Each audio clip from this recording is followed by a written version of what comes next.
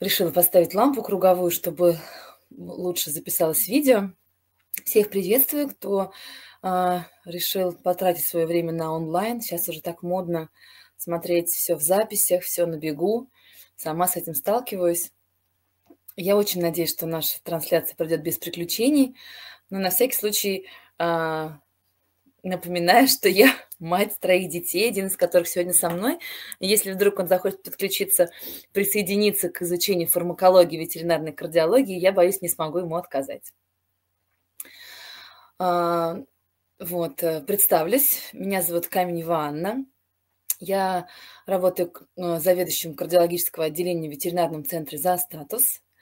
А, давно веду кардиологический прием, также занимаюсь визуальной диагностикой а, – разных видов животных. Э, и сегодня мы будем обсуждать очень важную вещь, а, такую как фармакология, ветеринарная кардиология. Потому как а, вопросы лекарств, какое лекарство дать, они очень всегда актуальны, очень э, востребованы.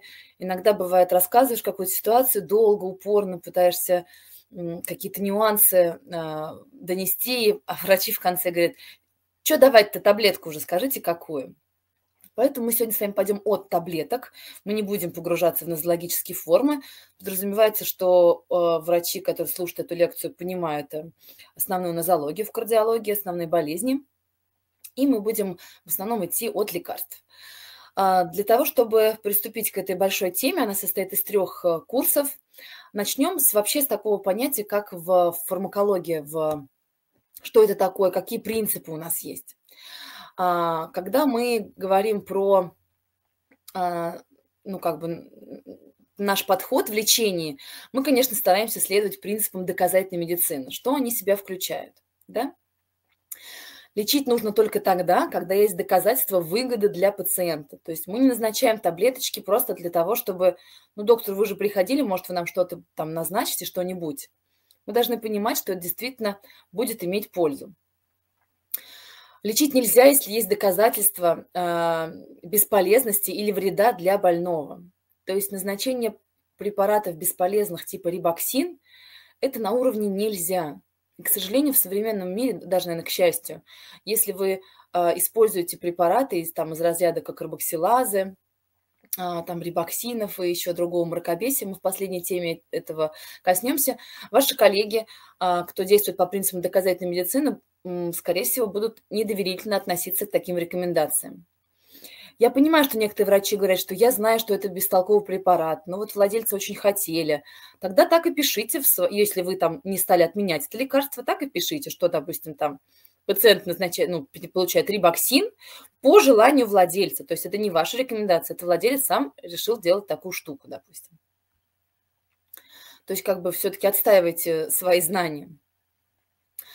А, доказательная медицина гласит, способы лечения препаратов должны пройти проверку на эффективность и безопасность в клинических исследованиях, проведенных по четким и строгим правилам. И это очень важный пункт. Ну, извиняюсь, так. Последние исследования могут иметь различный план, от которого зависит качество и результат. А, если вы читаете какие-то статьи зарубежные, то тоже надо понимать, что есть исследования, проведенные там, условно говоря, 300 животных, плацебо-контролируемые, рандомизированные и так далее. Есть исследования, проведенные там на трех кроликов, в пробирках и так далее. Да? То есть ценность этих исследований, безусловно, а, очень отличается. Итак, у нас есть различные виды. Рандомизированное, перспективное, двойное, слепое исследование. Максимально точный, непредвзятый результат. То есть, когда рандомным образом выбираются пациенты по заранее продуманному, по продуманной схеме, оба препарата, которые получают пациенты, ослеплены, то есть они выглядят абсолютно одинаково, и ни, ни врач, ни пациент не знают, двойное, да, ни врач, ни пациент не знают, какое лекарство они получают. Это считается высший пилотаж. Если оно еще многоцентровое, Вообще прекрасно. А, соответственно, как бы вот э, по такому принципу надо обязательно учитывать, когда вы анализируете данные на то или другое лекарство, каким образом его исследовали. Потому что давно доказано, когда человек дает какое-то лекарство, он верит, что оно должно работать, результаты в дальнейшем, которые он может получить, могут быть предвзятыми. Есть уровни доказательности в зависимости от того, насколько четко тот или иной препарат был подвержен вот, этим вот, э, вот этой оценке. А, есть класс доказательности 1 или класс А. Это как раз вот эти двойные слепые плацебо-контролируемые исследования, проведенные на большой выборке пациентов. Второй класс – это небольшие рандомизированные или какие-то клинические исследования с меньшей группой пациентов, где там 15-20 пациентов участвовало. Класс третий – нерандомизированные исследования. В нашей практике это обычно какой-то ретроспективный анализ данных. Да, то есть а, мы происследовали, как мы лечили пациентов за последние 10 лет и пришли к выводу. Вот это всего лишь третий класс доказательности, хотя это тоже огромная работа. И четвертый класс – это мнение экспертов по какой-то проблеме. А, ну, допустим, я прихожу, я считаю, у меня эта штука работает вот на отлично. Вот это низший уровень вашей экспертизы. То есть если вы приняли решение дать тот или иной препарат, потому что ваш коллега, возможно, прекрасный специалист, эксперт, мы не говорим это мнение бабушки в поликлинике, мы говорим про мнение экспертов, сказал вам, что слушай, отличная штука, не прогадаешь, а, вы можете прислушиваться к этому мнению, безусловно, но тем не менее это только четвертый класс доказательности, самый низший. Так. А, как мы собираем эти доказательства все-таки? В первую очередь мы ищем идеальный источник информации. Статьи, гадлайны, а, когда лекторы пишут какие-то а, презентации, мы всегда стараемся сделать ссылки, чтобы было понятно, что это не мое мнение, четвертый уровень, а что это что-то на уровнями выше. Поэтому обращайте внимание на те источники, откуда врач, лектор или ваш коллега, там любой, вам эту информацию преподносит. А, критическая оценка качества информации, да, достаточно ли я верю результатам этого исследования. То есть есть огромная группа работ, посвященная тому, насколько исследования информативны, насколько они правильно смоделированы, да. Ну, чтобы вы понимали, уровень кретинизма, да, простите меня за это такое слово, не медицинское, э, в медицине человека есть э, исследования, посвященные тому, помогает ли мольба родственников за пациентом улучшить его клиническое состояние. И есть данные, которые пытаются это проанализировать. А, есть ли успех там молиться до того, как была проведена операция, после? То есть вот это анализируют. Вот исследование есть, написано, оформлено правильно. Да, но нужно понимать, доверяете ли вы тому, как было проведено это исследование, и как люди могут это доказать, то есть каким способом это можно доказать, на глаз, либо все-таки какой-то математический, химический метод там существует. Как использовать результаты исследований или рекомендаций в конкретном случае? Далеко не всегда мы можем получить данные, что вот эта таблетка может быть использована так-то, а это в другой ситуации, либо ваш клинический случай не попадает под 100%, а это почти всегда так, под ту или иную рекомендацию. Например, мы прочитали там, допустим, что ну, пимобендан может быть использован там вот у собак, да, в инструкциях написано. Можем ли мы это переносить на кошек? Можем ли мы медицинские данные переносить на наших пациентов? Вроде бы физиология где-то схожа, где-то не схожа. А как быть, если мы говорим про травоядных животных, да, то есть нужно анализировать, насколько в данном исследовании полученная информация будет сопоставима с вашим клиническим кейсом и как вы сможете ее применить. Возможно, вам сейчас эта лекция покажется немножко занудной, но на самом деле она должна настроить ваше сознание и, соответственно, сознание владельцев, которым вы будете, по сути дела, доказывать вашу правду на правильный э, тон.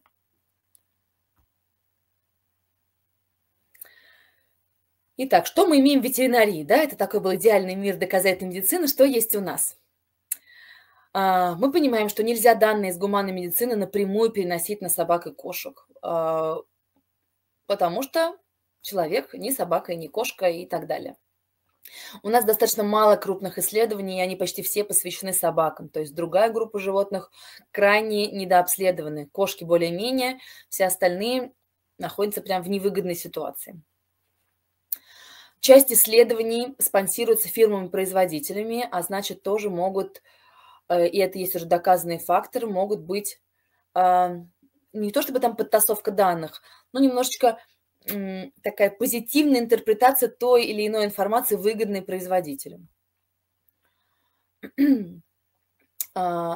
Есть группы пациентов э, и патологии, где сложно провести крупные исследования, да, ну, допустим, там одновременно найти кошек с хилезным выпадом, э, там, не знаю, карциномой легкого и там какой-нибудь атрезии левой почки, ну, таких 10 штук не наберешь, то есть у нас просто достаточно вариабельно проявление клинического, обращаются пациенты к нам часто на поздних стадиях, и не всегда нам удается подобрать эти однородные группы, как бы нам хотелось этого сделать.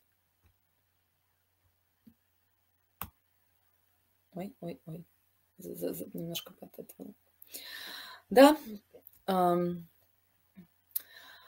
Уровень рекомендаций, да, то есть вот как собрав все вот эти данные по исследованию и так далее, какой уровень рекомендаций может быть? Есть, э, может быть, зеленый уровень рекомендаций, когда есть э, а, мировые данные, есть гадлайны, так называемые. Большинство экспертов однозначно используют данный препарат в этой ситуации. Не все эксперты однозначно используют данный препарат, но он может быть рассмотрен как препарат выбора а, второй линии, либо если что-то не работает. И красный уровень рекомендаций, когда мы не рекомендуем это лекарство, потому что оно либо неэффективно, либо даже может иметь потенциальный вред. А, ну и вот мы будем в дальнейшем разбирать много касательно фармако- фармакологии. Буквально маленький словарь вспомним, что фармака Кинетика, раздел фармакологии, изучающий всасывание, распределение в организме, депонирование, метаболизм, выведение вещества, распадывание метаболизма и так далее. А фармакодинамика изучает совокупность этих лекарственных средств и влияние на наш организм. А, соответственно, а, есть еще такие понятия, как Т1 дробь 2, это период полураспада вещества, время, нужное метаболит, вот этому активному веществу, которое получено из того, что мы проглотили, для потери половины его фармакологического свойства. Соответственно, Cmax – это пиковая концентрация вещества в сыворотке крови, а Tmax – это время э, до наступления этой максимальной концентрации, потому что мы дальше будем эту аббревиатуру использовать, чтобы все четко понимали, о чем идет речь. А, ну и, конечно, хочется, чтобы мы немножко более чутко подходили к нашим пациентам, чем деля их по возрасту, там, фенотипу и так далее, да, как на этой картинке, да. Малыши пьют там оксицилин, старики можно все, 38-65 Виагра. Ну, в общем, а, получаем диагноз, подбираем терапию. Итак, перейдем непосредственно к препаратам, входящим в комплексную терапию лечения застойной сердечной недостаточности. Время у нас с вами немного, поэтому будем действовать по плану четко. Итак, а, за эти три курса мы разберем с вами следующие группы препаратов. Сегодня мы поговорим про пимобендан и ингибитор АПФ. А, далее мы будем говорить с вами про диуретики и тоники, добутамин, допамин. А, и на последний день у нас останутся с вами антикоагулянты, антиагреганты, антиаритмики – и препараты, которые не стоит применять в ветеринарии, когда они могут быть вредны, либо препараты, которые могут как-то там оказывать воздействие свое, на что надо обращать внимание. В общем, надеюсь, что мы все успеем. Готовясь к данному вебинару, я постаралась подобрать какие-то последние данные, последние статейки. А, поэтому, надеюсь, нам будет всем это интересно и любопытно. Итак, Первый препарат, который, а, которым мы все достаточно часто пользуемся, я думаю, нет таких, кто бы про него не знал, это пимобендан. А, фармакологическая группа – это кардиотоническое средство. При попадании в организм а, пимобендан распадается на два метаболита. Сам по себе пимобендан и дексметилпимобендан, которые немножечко по-разному а, ну, обладает тем или иным свойством самого препарата. Что же нам дает ПИМа? Первый момент, когда он может быть полезен, это положительные натропные эффекты. Идет синтезация миокарда к ион кальция, но при этом нет дополнительной затраты энергии. То есть клетки миокарда становятся более чувствительны к кальцию, но они не затрачивают большее количество а, молекул АТФ, что очень важно – потому что таким образом у нас не увеличивается потребление энергии кислорода миокардом. Второй очень важный момент – это вазодилитирующий э, эффект. Пимобендан, в особенности дексметилпимобендан, его метаболит, является ингибитором фосфодиэстеразы 3, фосфодиэстеразы 5. Есть еще один препарат, в частности, а, который это делает. Допустим, силденафил тоже является ингибитором фосфодиэстеразы 3.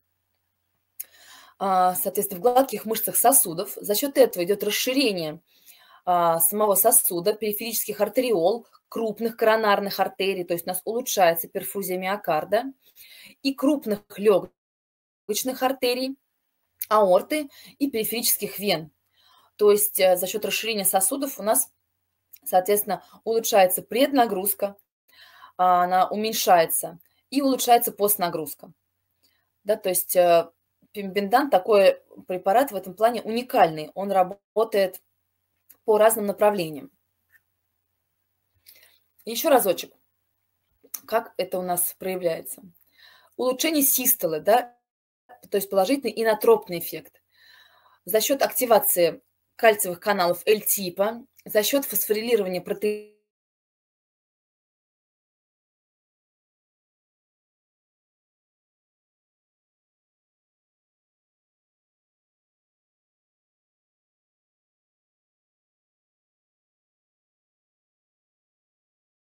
Есть исследования еще прямо на кардиомиоцитов, на точках отдельно, но мы с вами урезаны во времени.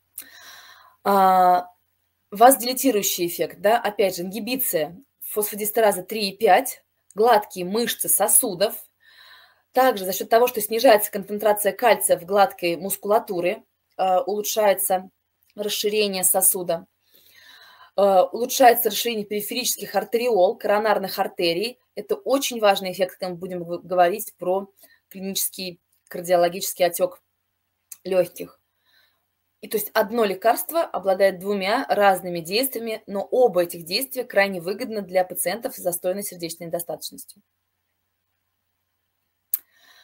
Итак, что мы знаем про этот препарат, как он работает, как всасывается? Пимбендан можно вводить разными способами. Вы удивитесь, тут этих способов будет обсуждено три.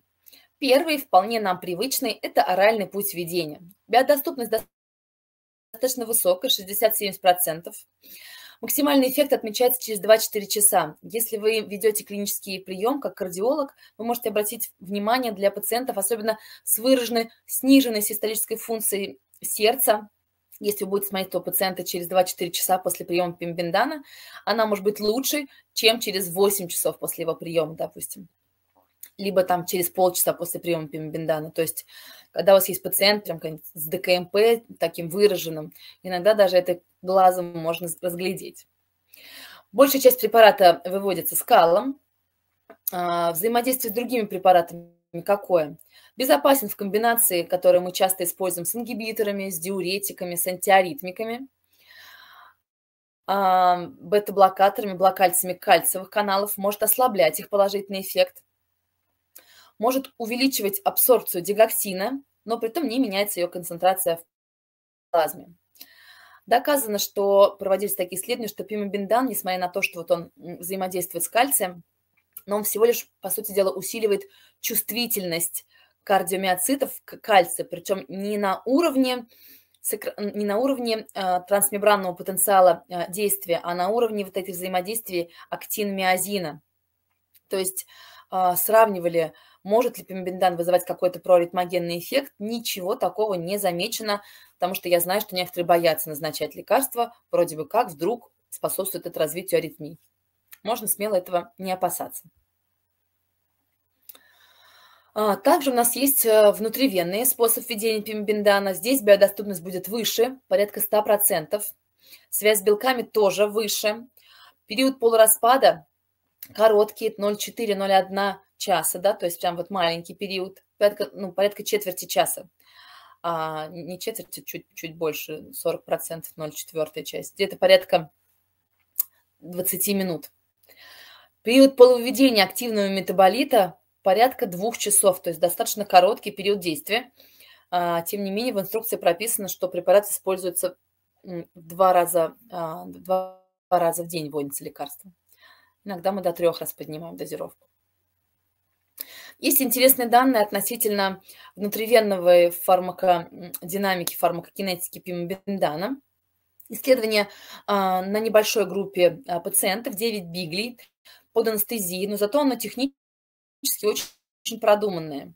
Этим пациентам всем оценивали, обратите внимание, какой, какая большая работа, давление в левом желудочке, в аорте, оценивали сердечный выброс, это все была инвазивная катетеризация сердца, давление в правом предсердии, в легочных артериях, в легочных сосудах до и после однократного болиса пимобендана в дозировке, рекомендованной в инструкции 0,15 мг на килограмм.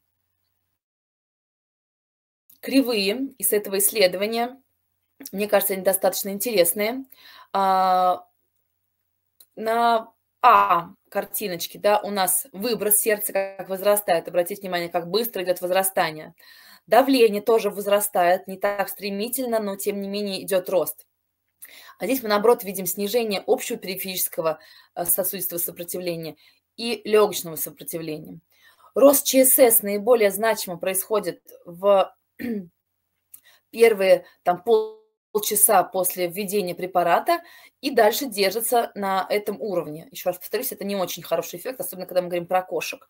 Но если нашего пациента невысокий, а, невысокая ЧСС, то нам это не важно. Комплексы КУРС, интервал КУТ как-то значимо не меняются при этом. Интересный момент про то, как ведут себя метаболиты при внутривенном введении. Да? Помните, мы сказали, пимобендан распадается на два метаболита. Сам по себе пимобендан и дексметилпимобендан. Вот так он сокращается, ОДМП. А, обратите внимание, Э, концентрация э, метаболита дексметилпимобендана очень быстро нарастает и потом дольше действует. А мы же с вами говорили, что дексметилпимобендан чуть более активный с точки зрения а, ингибирующего эффекта, да, то есть э, ингибирование фосфодистераза 3 и 5, а пимобендан более активен с точки зрения а, улучшения инотропной функции сердца.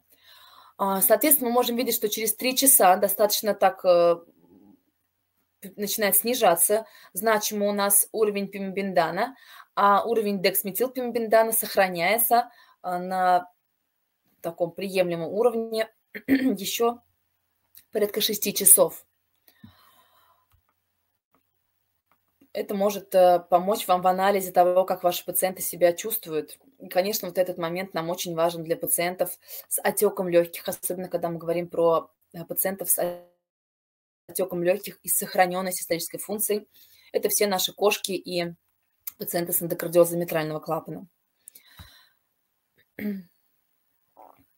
Интересный момент, возможно, неожиданный. Ректальное введение пимобендана. Для меня стал не, э, сюрпризом, а, что, оказывается, в Соединенных Штатах Америки отсутствует внутривенная форма пимобендана. Даже где-то отлегло. Вот мы сейчас периодически есть перебои с лекарствами. То фуросемид бывало пропадал, то теофилин. Синолокс сейчас днем с огнем не найти.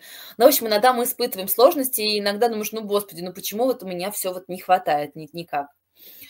И тут смотришь, оказывается, на всю целую Америку нет инъекционной формы пимобендана.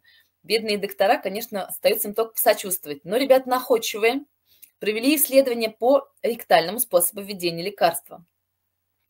Они взяли 8 здоровых собак, достаточно немаленьких, видимо, чтобы процедура была для них э, такая поспокойнее. А, и они э, вводили им орально и ректально пимобендан в дозировке 0,5 мг на килограмм, то есть дозировка более высокая. Почему они выбрали дозировку 0,5 мг на килограмм, а не 0,25? А, потому что есть там до этого предыдущие исследования, где тоже вводили ректальный препарат, и выяснилось, что в дозе 0,25 он как бы, ну, не особо эффективный. Поэтому в этом исследовании сразу же отдали предпочтение дозировочке 0,5 мг на килограмм. Обратите внимание, что мы можем видеть про, по поводу концентрации, концентрации а, лекарства. Да? Так, сейчас я вот это сейчас все могу. То есть здесь мы видим сейчас, пимбендан перорально, пимбендан перректально. дозировочки. Обратите внимание, C-max, а, то есть а, максимальная концентрация а, пимбендана, конечно, достаточно несопоставимо, да, то есть 10 а, против почти 50, а, дексметилпимбендана 30 против здесь 8,8, минимальные концентрации не так сильно разнятся, но обратите внимание, сейчас на следующем слайде мы увидим интересный момент. А, при ректальном введении уровень дексметилпимбендана сопоставим с терапевтическим, с терапевтическим при оральном введении. Да? То есть а, они сравнили эти данные. А, когда мы даем пимбендан в стандартной дозировке 0,25 мг на килограмм, у нас получается у пациентов уровень дексметилпимбендана в крови тоже может быть вполне себе сопоставим. То есть он вот такой. У нас получается 3,6. 3,6 в оральной дозировке 0,25 мг на килограмм. А при ректальном введении 0,25 мг на килограмм у нас получается 8,8. То есть э, уровень дексметилпимбендана при ректальном введении в дозировке 0,5 мг для килограмм сопоставим с концентрацией этого метаболита, он даже выше, при оральном введении в дозировке 0,25 мг на килограмм. А, к чему я, в общем, все это веду? Я знаю, что не во всех клиниках а, есть а, внутривенный пимбендан. Для некоторых это может быть дорого. Некоторые владельцы отказываются ехать в клинику, когда им пациент становится тяжелее. Бывает ситуация, когда у пациентов открывается рвота, нет возможности поставить внутривенный катетер. Я, конечно, понимаю, что ректальное введение достаточно стрессовый способ ведения – но когда пациент находится в тяжелом состоянии, а мы, конечно, говорим про эту возможность только для пациентов в тяжелом состоянии, когда пациент стабильный, оральный, безусловно, способ введения будет а, предпочтительней. А мне кажется, достаточно это такой а, хороший выход, если у вас нет внутривенной формы.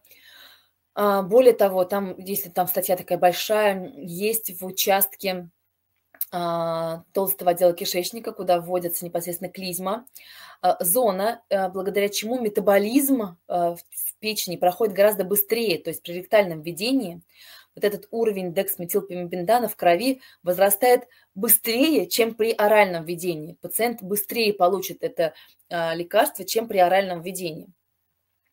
Ну, в общем, может быть, для рутинного использования эти знания вам и не пригодятся, ну, так сказать, на случай каких-то сложностей у владельцев, либо отсутствия внутривенной формы, мне кажется, на заметку. Мне, по крайней мере, это было любопытно, когда я ознакомилась с этой статьей. Стандартные дозировки все же включают в себя дозу 0,2-0,3 мг на килограмм каждые 12 часов. А, обычно мы назначаем меньше 0,2 назначать нелогично. А, но а, как бы иногда мы округляем дозировки лекарств немножко в большую, либо немножко в меньшую сторону, еще раз повторюсь, в немножко меньшую сторону, если это связано с, какие, с какой-то рационализацией в делении самой таблетки. Вот. Усиленные дозы у рефрактерных пациентов, либо у пациентов с кардиогенным отеком легких. Внутривенно мы можем увеличивать даже до 0,25 мг и вводить чаще – и оральные тоже дозировки могут быть увеличены фактически в 2-3 раза. Но это, еще раз повторюсь, нестандартные ситуации. Стандартные дозы, которые указаны в инструкции, а, соответственно, в верхней части слайда. Если вы используете дозировки усиленные, э, советую тоже это обговаривать с владельцем, что это вот э, на основании клинических данных. Мы знаем, что бимбендан безопасен в этих дозировках, по крайней мере, у собак. Э, поэтому надо обговаривать с владельцем, что вы назначаете препарат в дозировке, не прописанной в инструкции, чтобы не было каких-то сложностей и не обвинили вас во всех бедах в дальнейшем. Если какие-то вопросы у вас возникают по ходу, вы можете писать их в чат. Если останется время в конце, а, обсудим обязательно все вопросы. Если какой-то критичный вопрос, либо вы видите какую-то ошибку на слайде, тогда прям давайте по ходу. Итак, какова наша область применения пимбендана. Опять же, мы это делаем не из моего опыта, а из исследований. А, доклиническая стадия эндокардиоза митрального клапана. а, так называемая стадия B2 по ЭКВИМ, а, когда у нас, соответственно, КДР нормализованный больше либо равно 7, когда у нас левое предсердие коорте больше, чем 1,6, ВИЧС больше 10,5. Это, пожалуй, одно из самых больших исследований, посвященных данному лекарству. Эпик стадия, так называемая – большущая группа известных всем нам кардиологов принимала в, нам, э, в нем участие. Банагура, Аяма, э, Герхард Весс, э, Хакстром, Босвуд. Ну, в общем, здесь одна фамилия Роберта Сантили. Ну, огромное количество известных мировых кардиологов провели исследования. Опять же, обратите внимание на формат исследования. Проспективное, рандомизированное, плацебо-контролируемое, слепое, многоцентровое – клиническое исследование, двойное слепое, многоцентровое клиническое исследование. Максимальный стандарт, который можно себе только представить. Итак, всего было 360 собак, 70, 178 получали пимбиндан, дозировки 0,4-0,6 на 24 часа, 176 получали плацебо. Оценивали время до наступления застойной сердечной недостаточности, что это значит, когда пациент поступал с отеком легких, соответственно, клиническим, либо при дотечном состоянии каком-то тяжелом, а, время до сердечной смерти, либо эутаназии из-за того, что качество жизни было уже а, значимо плохим. Итак, что же мы получили? Мы получали, что в группе с пимобенданом время до начала ХСН составило 1228 дней против 766 дней в группе с плацебо. Согласитесь, все-таки значение больше, чем в год. Это то, на что стоит обратить внимание. А, также проводили оценку а, быстрого вот э, влияния через 35 дней от начала приема.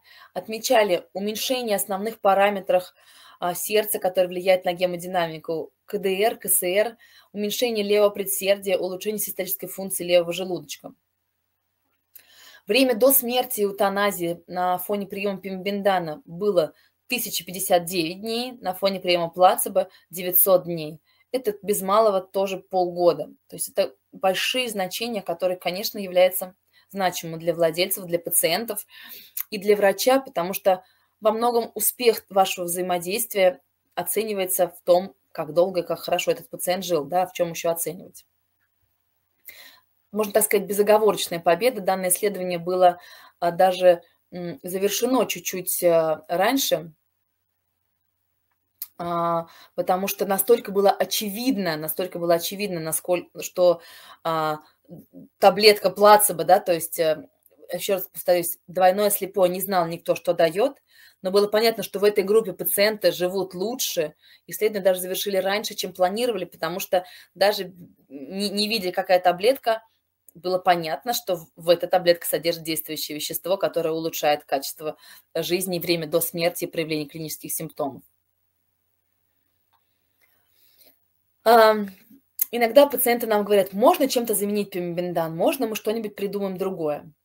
Сейчас на рынке есть дженерики, так называемые, да, то есть не ветмедин, а торговое название, производитель Бюрингер Ингельхайм. Есть э, также препарат Пимопед, еще периодически есть пимобендан белорусский, есть хартмедин. Это дженерики, то есть подразумевается, что у них на, в упаковке написано, что все они содержат тоже а, действующее вещество пимобендан.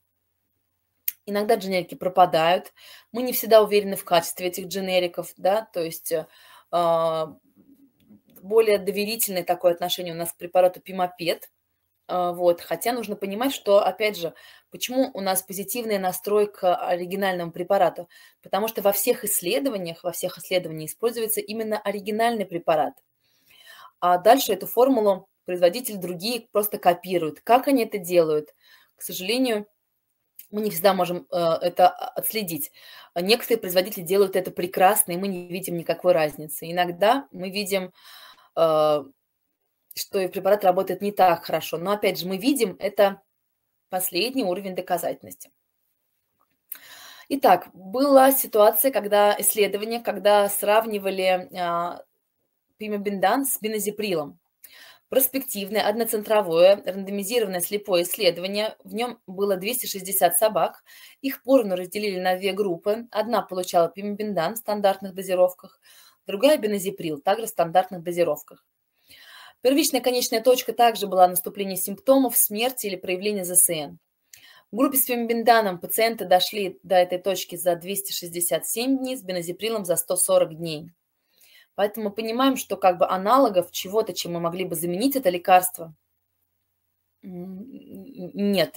Не стоит пытаться, допустим, ингибиторами заменить пембиндан. Это другое лекарство. Мы будем говорить во второй части об ингибиторах. Но если вашему пациенту показан пембиндан, ваша задача провести разговор с владельцами и объяснить, насколько это принципиально важно для качества жизни пациентов. Использовать дженерики, а, в общем-то, вы тоже можете. Еще раз повторюсь, у нас нет никаких данных, никаких исследований, которые бы сравнивали оригинальные препараты и дженерики.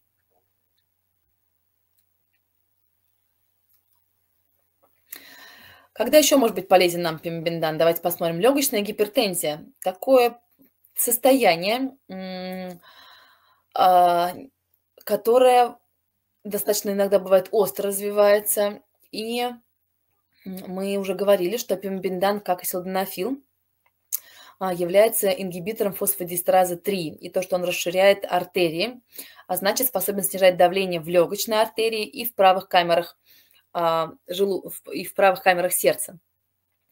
А, было, проведены, было проведено несколько исследований по поводу влияния пимбиндана у пациентов с легочной гипертензией, с хронической сердечной недостаточностью. А, нужно отметить, что пациенты, которые участвовали в этих исследованиях, они имели легочную гипертензию, связанную с э, сердечной недостаточностью, с дегенерацией митрального клапана. То есть эта сердечная недостаточность и эта легочная гипертензия в большей части этих пациентов была ретроградная, связана с повышением давления в левых камерах. А, отметили а, значимое улучшение, да, снижение тяжести легочной гипертензии в сравнении с плацебо, улучшение а, качества жизни. Но не совсем ясно, что же более значимо в данной ситуации. Улучшение состояния за счет э, снижения давления в левых камерах, либо прямая дилатация легочной артерии, либо комбинация этих эффектов. То есть, а, что пимбендан будет полезен у пациентов с ЗСН плюс ЛГ, это безусловно так, Насколько поминдан будет эффективен у пациентов с изолированной легочной гипертензией, которая, допустим, могла развиться из-за основного какого-нибудь легочного заболевания, это, к сожалению, пока этот вопрос остается открытым. А, как, но очевидно, что пимбендан влияет на правый желудочек. Тоже были проведены исследования, оценивались историческую функцию правого желудочка а, у собак с дозировочкой стандартной Э, пимобендана 0,25 мг на килограмм. А, и э, отмечали значимое увеличение всех показателей ТАПСы, фракционного изменения площади правого желудочка, S-штрих а, и спекл трекинг оценивали. Все эти показатели улучшались, то есть, а, но не оценивалось клинических данных, то есть нет исследований, где бы оценивали пациентов там симптомной правосторонней сердечной недостаточности, изолированной там. И именно клинически как бы пимбиндан здесь помогал. Но на всех э, как бы точках их кардиографических мы видим положительный эффект ПИМа при правосторонней сердечной недостаточности, при снижении систолической функции правого желудочка. Дилатационная кардиомиопатия и пимбиндан. Что у нас есть по этой болезни? А, а, соответственно, собаки с ДКМП Протект, исследование с дилатационной кардиомиопатией. 39 получали ПИМа а, и 37 получали плацебо.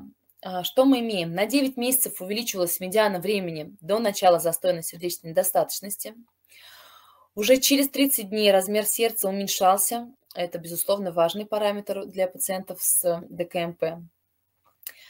Но не, не влияет на риск внезапной смерти и аритмии. Все-таки мы помним, что при ДКМП а, огромное количество э, аритмогенной есть так называемые формы, ну и вообще проявление а, аритмии достаточно частое. А, исследование рандомизированное, слепое, опять же, плацебо-контролируемое, параллельное, групповое, многоцентровое. То есть достаточно такое полезное и с хорошим уровнем доказательности. А, то есть у нас уже получается, что пембендан можно применять у пациентов с эндокардиозом стадии B2, у пациентов с ДКМП, со снижением систолической функции левого желудочка. Это однозначно. Скорее всего, у пациентов с снижением систолической функции правого желудочка, у пациентов с легочной гипертензией. Достаточно большой список, и он еще не закончен. А, итак, суммируя то, что сказано по собакам. У нас доказана эффективность пимбендана собакам с эндокардиозом на стадии B2 и выше, доберманом, повторяясь, вероятно, другим собакам с дилатационной кардиомиопатией, но исследований по другим собакам особо нету. Применение пимбендана у пациентов с клиническим кардиогенным отеком легких, пациентов с застойной сердечной недостаточностью, в том числе рефрактерных, если это ЗСН связано с какими-то другими патологиями, не с ДКМП и не с эндокардиозом, например, это могут быть пороки, перенесенный миокардит и так далее. А, пациенты с прекапиллярной дилатационной кардиомиопатией, посткапиллярной, а, не доказана эффективность пимбендана на стадии B1 а, при эндокардиозе митрального клапана. Также не доказана эффективность пимбендана у пациентов с сохраненной систолической функцией левого желудочка, э, либо у пациентов с аритмиями, при подозрении на ДКМП. То есть у этих пациентов показаний к пимбендану пока никто не нашел. Это еще не все про пимбендан. А, дальше кошки. Кошки не люди, кошки не собаки, про них нужно поговорить отдельно. А, всасываются также в тонком кишечнике, метаболизируются в печени, здесь все понятно. У кошек однозначно более выраженная снижается биодоступность при поступлении с пищей. Это важный момент, когда мы говорим про особенности питания кошек. У части кошек присутствует так называемый буфетный тип питания, когда животное постоянно получает еду. Не разделено на прием пищи на утро и вечер, а постоянный прием пищи. И это нужно учитывать. Безусловно, снижается биодоступность при рвоте, диарее, а, соливации также, потому что может часть препарата удаляться со слюной. А, то есть этот момент, который может быть значим, когда мы говорим про дозировки для кошек, так как в инструкции, это важно, нет рекомендаций для кошек. Всегда, когда вы назначаете пимбендан кошкам, обязательно оговаривайтесь с владельцем, что вы делаете это с согласия владельца э, в разрез инструкции. Время полововедения почти в три раза дольше, чем у собак. То есть, с другой стороны, мы видим значимое снижение а, биодоступности пимбендана, с другой стороны, в три раза дольше выводится, чем у собак. Пиковые концентрации в стандартных дозировках более чем в 10 раз выше, чем у собак. Дексметилпимбендан имеет более выраженную активность в ингибировании, а, и он у кошек вообще более активен, чем пимбендан. Есть также исследования а, с маленькими дозами, но при этом пока нет однозначных данных, а, насколько это связано с клиническим эффектом. И все эти исследования по усвоению и так далее, они были проведены на здоровых кошках. То есть нам, конечно, не хватает клинических исследований по кошкам а, больным. Ну, как бы что имеем, так сказать. Однозначно понятно, что пимбендан безопасен, то есть э, не стоит опасаться того, что если вы идете в прозрез с инструкцией, то это может быть опасно. Прием его не вызывает каких-то значимых побочных эффектов. Может отмечаться рвота или соливация, но у части кошек такая есть реакция на любую таблетку. Возбуждение, диарея, либо запоры. А, отмечено значимое улучшение функции левого предсердия. Это важно, потому что есть группа исследований, посвященных именно функции левого предсердия у кошек, и то, как это значимо влияет на как это влияет на проявление застойной сердечной недостаточности и продолжительной жизни.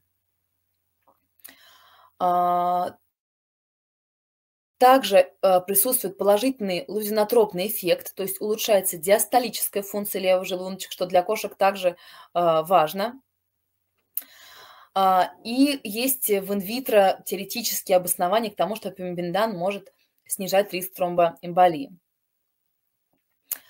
А, может приводить к кратковременному росту, э, росту скорости в области выносящего тракта левого желудочка – а значит, у пациентов, у которых есть обструкция этой области, применение пимбендана может усилить эту обструкцию и потенциально может быть опасным.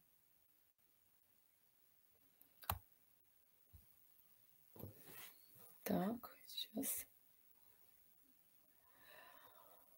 А, какие у нас есть данные по поводу применения пимобендана у кошечек с застойной сердечной недостаточностью? А, достаточно большое исследование, 170 кошек ЗСН – а, большая часть из них э, была с гипертрофической кардиомиопатией, а, неклассифицированной кардиомиопатией 37%, ДКМП и другими патологиями, в частности, аритмогенная дисплазия, патология митрального клапана, а, трехпредсердное сердце и так далее. Пимбиндан давали в комбинации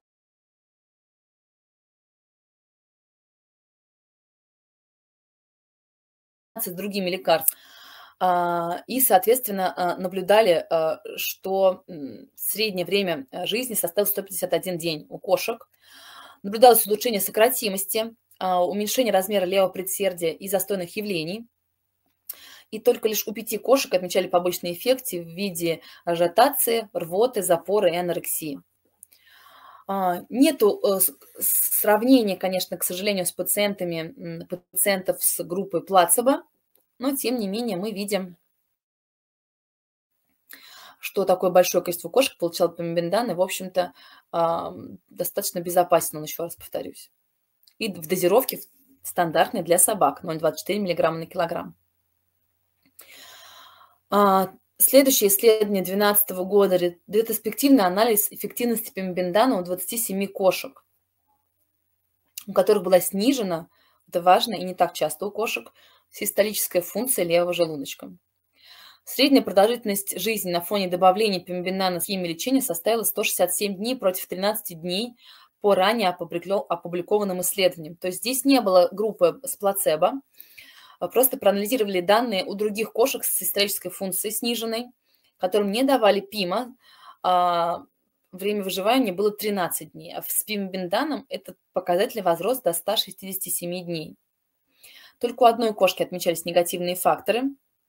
У остальных отмечалось, опять же, рост э, фракции выбросы, укорочение левого желудочка, уменьшение размеров левого предсердия. То есть кошки с, со сниженной систолой левого желудочка такие очень э, значимые группы пациентов э, на пимобиндан. Э, еще один ретроспективный анализ э, 32 случаев кошек, с, которые получали ингибиторы АПФ, фуросемид и таурин. А в группе с пимбенданом, соответственно, среднее время жизни было в 4 раза выше, чем у пациентов, которые не получали пимбендан. И меньше частота встречаемости тромбоэмболии. Побочных эффектов каких-то не отмечали.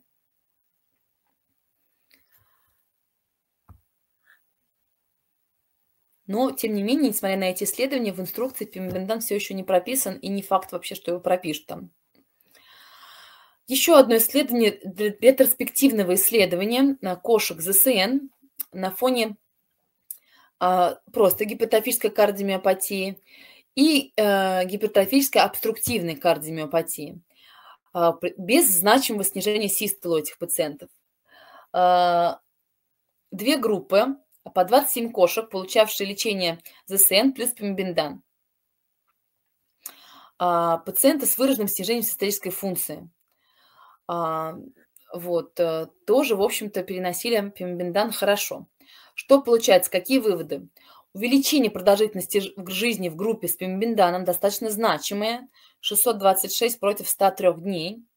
Хорошая переносимость лечения. Но, опять же, это ретроспективное а, исследований малое количество а, кошек с обструктивной кардиомиопатии.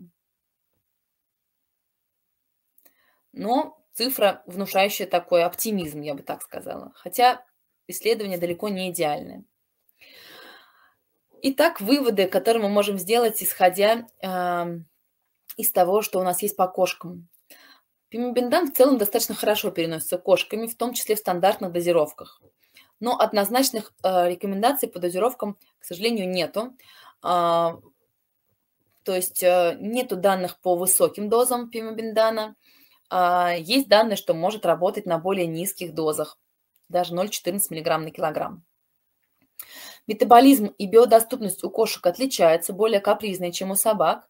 Э, более отмечена вза взаимосвязь с приемом с пищей, то есть снижается усвоение пимобендана. А, дозировки могут начинаться с 0,125 мг и до стандартных дозировок. Окончательных рекомендаций не существует. Он может быть рекомендован а, рефрактерным пациентам и кошкам со сниженной систолической функцией левого желудочка. В этом сходится большинство экспертов. И может быть рассмотрен в комбинации со стандартной терапией у пациентов на стадии B2C если не обнаружена значимая обструкция выносящего тракта левого желудочка, я говорю сейчас про э, те состояния, когда доказано, что скорость на аорте выше, чем 2,8 метров в секунду. Особенно если также у этих пациентов отмечается снижение систолической функции левого желудочка.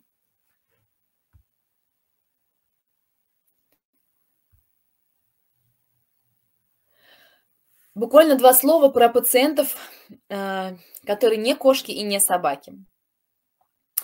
А, также пимобендан дают всем нашим маленьким пациентам хорьки, морские свинки, крысы, хомяки, обезьянки. Даже даем иногда, хотя по обезьянкам непонятно, с людьми их все-таки сравнивать или нет. А у людей пимобендан рутинно не применяется, исключение Япония.